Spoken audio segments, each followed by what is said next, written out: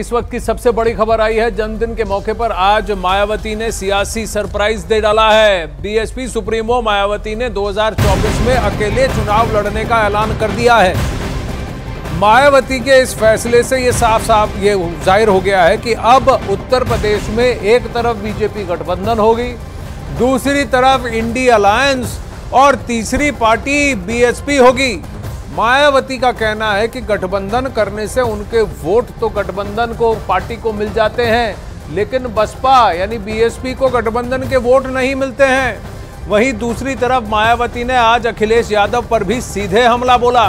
उन्होंने कहा कि वो गिरगिट की तरह रंग बदलते हैं।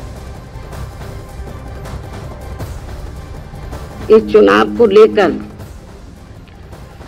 यहाँ मैं ये बात भी फिर से स्पष्ट कर देना चाहती हूँ कि हमारी पार्टी देश में जल्दी ही घोषित होने वाले लोकसभा के ये आम चुनाव यहाँ गरीबों एवं उपेक्षित वर्गों में से विशेषकर दलितों, आदिवासियों, अति पिछड़े वर्गों, मुस्लिम व अन्य धार्मिक अल्पसंख्यक समाज के लोगों के बलबूते पर ही पूरी तैयारी व दमदारी के साथ अकेले ही लड़े हाल ही में विपक्ष के विपक्ष के इंडिया गठबंधन विपक्ष के इंडिया गठबंधन को लेकर, जिस प्रकार से सपा मुखिया ने एक सोची समझी रणनीति के तहत बीएसपी के लोगों को गुमराह करने के उद्देश्य से कुछ ही घंटों के अंदर बीएसपी प्रमुख के प्रति गिरगिट की तरह अपना रंग बदला है तो उससे भी पार्टी के लोगों को ज़रूर सावधान रहना है।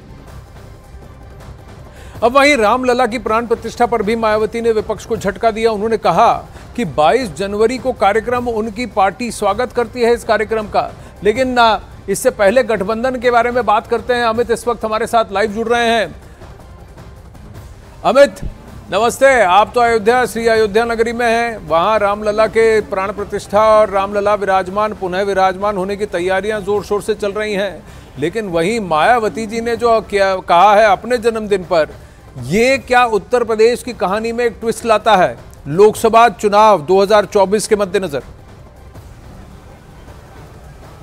जी हाँ बिल्कुल। देखिए, सात दिन बाद तो भगवान श्री राम अपने नव्य, दिव्य, अलौकिक मंदिर में विराजमान हो जाएँगे। लेकिन आज मायावती ने अपने जन्मदिन के मौके पर इंडिया गठबंधन को सरप्राइज़ दिया और बहुत बड़ा झटका दिया है, क्योंकि कुछ दिनों पहले ही कांग्रेस के जो उत्तर प्रदेश का प्रभारी है अविनाश पांडे, उन्होंने साफ़ साफ़ लफ्जों में कहा था, बयान दिया था अपना, और कहा था उन्होंने कि उनके इंडिया गठबंधन के कुछ नेता बीएसपी के संपर्क में है और बीएसपी इंडिया गठबंधन में अलायंस में शामिल हो सकती है। तो ऐसे में आज का जो प्रेस कॉन्फ्रेंस है मायावती का, उन्होंने इंडिया गठबंधन की जो मंशा थी, उस पर पानी फेर दिया है। और इंडिया गठबंधन चाहती थी कि जो बीएसपी का वोट बैंक है केवल उत्तर प्रदेश में ही बीएसपी का वोट बैंक नहीं है, पूरे हिंदुस्तान में है। और उस वोट बैंक में को अपने पाले में लेना चाहता था, और ज़ाहिर तौर पर मायावती इस बात को कहीं ना कहीं समझ गई है, और अब 2024 का जो लोकसभा चुनाव होगा, उसमें उत्तर प्रदेश की तस्वीर पूरी तरीके से साफ़ है। एक तरफ़ बीजेपी होगी, दूसरी तरफ़ इंडिया गठबंधन, तीसरी तरफ़ बीएसपी ताल ठोक कर खड़ी होगी। तो ज़ाहिर तौर पे ये इंडिया गठबंधन के लिए खतरा है और जिस तरीके से आज अखिलेश यादव पर हमला की है दरअसल जब सीट शेयरिंग पे बातचीत हो रही थी इंडिया गठबंधन में कांग्रेस पार्टी और समाजवादी पार्टी में तो उस दौरान समाजवादी पार्टी के नेता ने ज़रूर ये बयान दिया था और कहा था कि बीएसपी को इंडिया गठबंधन में आवश्यकता नहीं है बीएसपी की आवश्यकता नहीं है। तो ऐसे में गिरगिट की तरह रंग बदलने वाली जो बात है वो मायावती ने साफ़ साफ़ हमला किया है जिस अखिलेश पर। जी।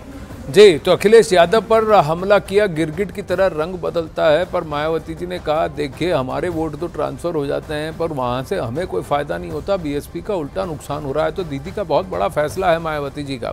वहीं रामलला के प्राण प्रतिष्ठा पर भी मायावती ने विपक्ष को झटका दिया। उन्होंने कहा कि बाईस जनवरी के कार्यक्रम का उनकी पार्टी जोरों से स्वागत करती है। मायावती ने कहा कि रामलला की प्राण प्रतिष्ठा का निर्माण, निमंत्रण मिला है। हालाँकि मायावती ने साफ़ तौर पर कहा कि उन्होंने अभी प्राण प्रतिष्ठा के कार्यक्रम में जाने का फैसला लिया नहीं है। मायावती जी का कहना है कि अभी वो पार्टी के कामों में व्यस्त हैं।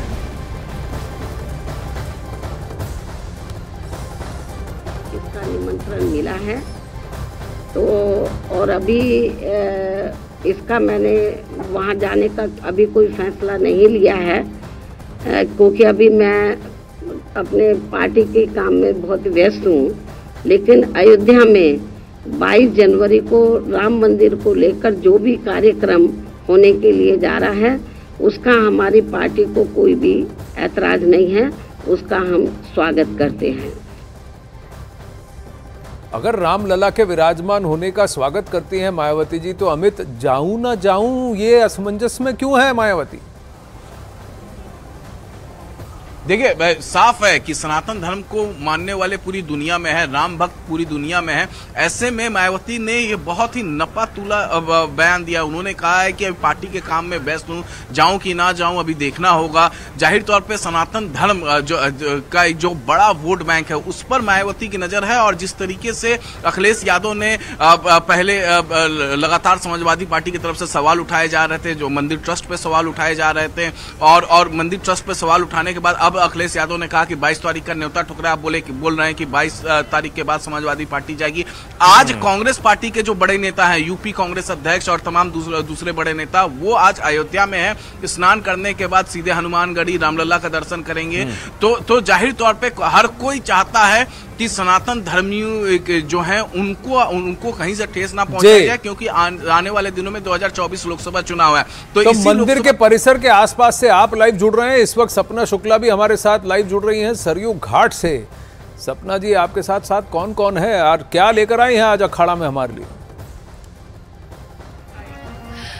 आनंद मैं इस वक्त आनंद के ही सागर में डूबी हुई हूँ मैं आपको बता दूँ। क्योंकि अयोध्या में जो आया है वो राम में हो रहा है। कुछ कहने, सुनने की ज़रूरत नहीं, अपने अपने आप ही आपके मुख से शब्द निकलने लगेंगे। मैं इस वक्त एक नाव में हूँ, नौका विहार इसे कहें हम तो नौका विहार हम कर रहे हैं। करण अर्जुन मेरे साथ में और साथ ही साथ कुछ संत मेरे साथ हैं और एक छोटी सी बच्ची जो सीता स्वरूप लेकर आई है, जिसने कहा, मैं भी आपके साथ चलूँगी। और किशोर अवस्था में तो सभी भगवान का ही स्वरूप होते हैं। तो ये माँ जानकी हमारे साथ हैं। सबसे पहले मैं शुरू करूँगी करण अर्जुन से। क्या सुना रहे हैं? सबसे पहले सरयू के तीरे हैं। बिल्कुल सरयू तट पर है। हाँ। तो राम चरण सुखदाई भजमन राम जी का जो नाम है और चरण इतना सुखदाई है कि सरयू मैया कल कल करती हुई अयोध्या को सींचती है। राम चरण सुखदाई राम चरण सुखदाई।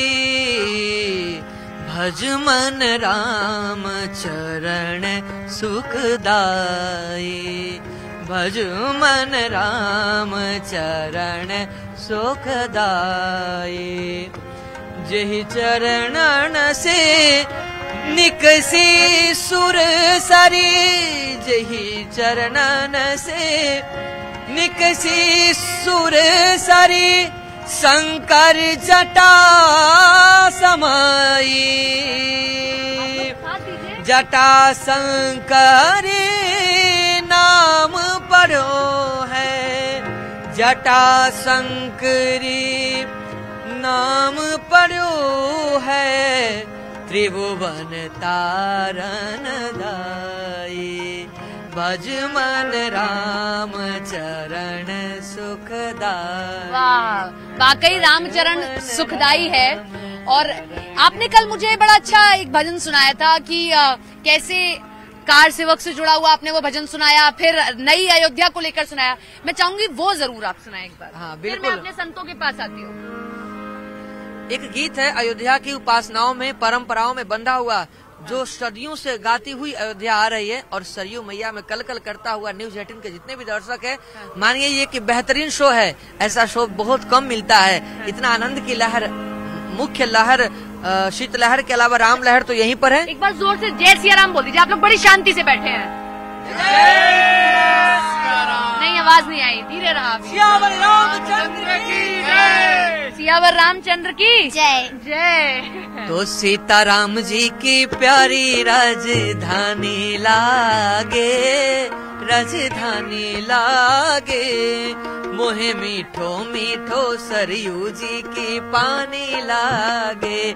सीताराम जी की प्यारी राजधानी लागे राजधानी लागे। मोहे मीठो मीठो सरयू जी के पानी लागे।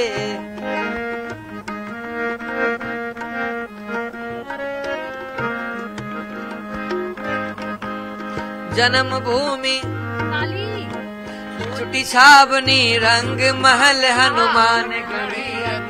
हनुमान गढ़ी। छोटी छावनी रंग महल हनुमान गढ़ी। अति सुंदर स्वयं जगत के मालिक बैठे हो।